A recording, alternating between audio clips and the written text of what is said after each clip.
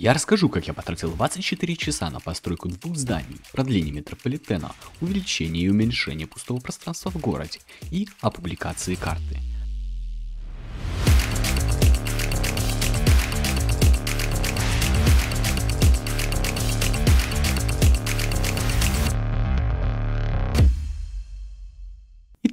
Скорее всего вы знаете о том, что Майнск находится в Союзе Федеративных Республик. Это моя страна, кто не знает. Возможно, вы об этой стране слышали у Неолекса.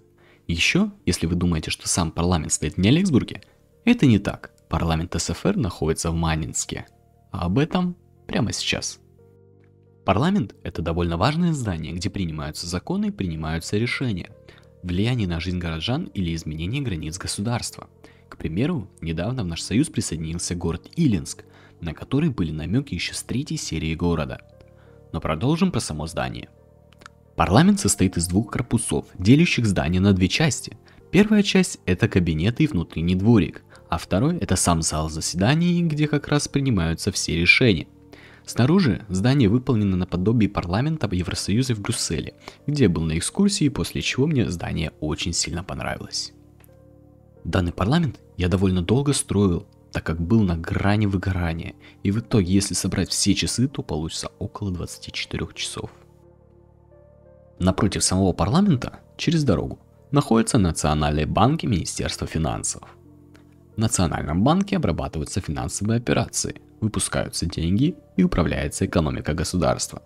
Они отвечают за регулировку процентной ставки кредитов, и от них зависит запуск печатного станка для выплат долгов, что может привести к инфляции.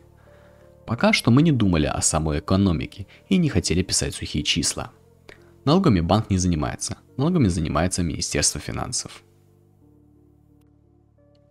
Министерство финансов занимается финансовыми вопросами в различных сферах деятельности государства, включая налоговую, бухгалтерскую, аудиторскую, пенсионную, таможенную и другие – Министерство и национальные банки являются самостоятельными фракциями, где национальный банк не подконтролен правительству, где министерство наоборот.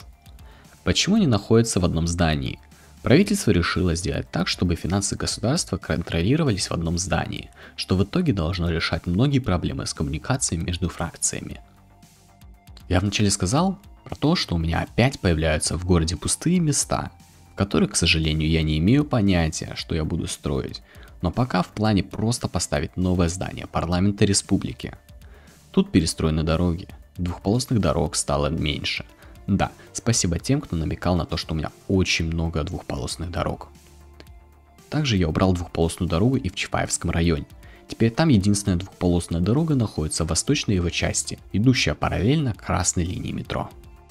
Также мне предлагали построить троллейбус в городе, но пока реализация данного вида транспорта у меня в городе пока невозможна, так как я планирую достроить некоторые районы и тогда уже поговорим о данном виде транспорта. Конце концов, в Маринске был дефицит продуктовых магазинов. В реальности их на один район нормально может перепадать по 20 штук. Но так как у меня районы это пара кварталов, то мне и 4 хватит. Пока я расставил магазины в довольно логичных местах, а потом дойдет до магазинов в зданиях. Колокол Правды – это национальная СМИ, которая работает над новостями в самом государстве, а также они выпускают свои выпуски у меня в Дискорде. Между этим, я решил попробовать построить диагональную улицу. С одной стороны, вроде что-то не сходится, типа дома стоят как-то неправильно, но спешу вас огорчить. Я не просто ленивый, я нашел оправдание, почему можно так сделать. И это реальная практика в градостроительстве, только уже в реальности – и поэтому не бойтесь, и тоже можете строить такие кварталы. Ближе к центру улицы можно заметить диагональные магазины. Они сделаны в качестве исключения, чтобы не выглядело уж слишком по-майнкрафтовски. Хоть диагональные здания не особо хорошо выглядят в Майнкрафт, они смогут передать то, что здания могут стоять по-разному. Еще один ЖК на 8 подъездов и 10 этажей – подземной наземной парковкой и детской площадкой. И это уже начало города вне окружной. Но скорее всего я вряд ли в ближайшее время буду что-то там строить. Но не исключаю того, что там может что-то строиться. Помните то самое пустое место из девятой серии? Я начал его потихоньку застраивать. Первое, что там стоит с той серии, это элитный теннисный корт, где можно играть хоть зимой и в дождь. С куполом спасибо Нейву. Нелексбургский район – это место, где город развивается и растет. Настраивание пустых мест может включать в себя строительство новых домов, парков, магазинов и другой инфраструктуры. В моем случае это пару новых ЖК, множество расставленных КПшек и здание И-700, которое я взял с сайта MindSchem с профиля не Алекса и переделал под свои стандарты.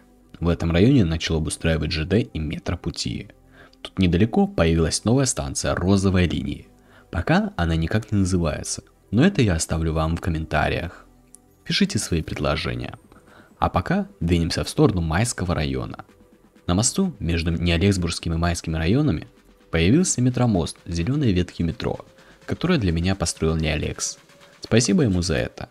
Я бы так не смог. По крайней мере сейчас. На данный момент это единственный открытый участок действующего метро, не считая розовую линию. Она недостроена. Раз уж заговорили о метро, я расскажу про новую станцию на зеленой линии метро. Это станция 23 августа. Она является односводчатой мелкого заложения. Рядом пока ничего нету. Но это пока. Кстати о карте. Набиваем 100 лайков, я знаю, будет довольно долго. Но по восьмой серии вам это удалось. Спасибо за просмотр. Не забывайте о сайте MySchem, который занимается схематиками. А пока